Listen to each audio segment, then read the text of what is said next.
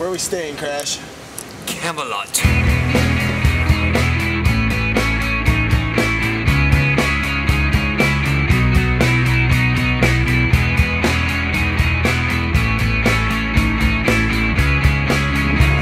So Matt has now taught Joe how to accessorize properly.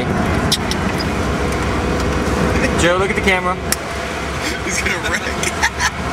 Bob's just there and masturbates all night, all day. as fuck. Dave's drunk and Bob jacks off back there all the time, don't you? Yeah? Yeah. Yeah, sure Chain smoke cigarettes without thinking and they all came back like we knew they would. You gotta get your fix down in Hollywood.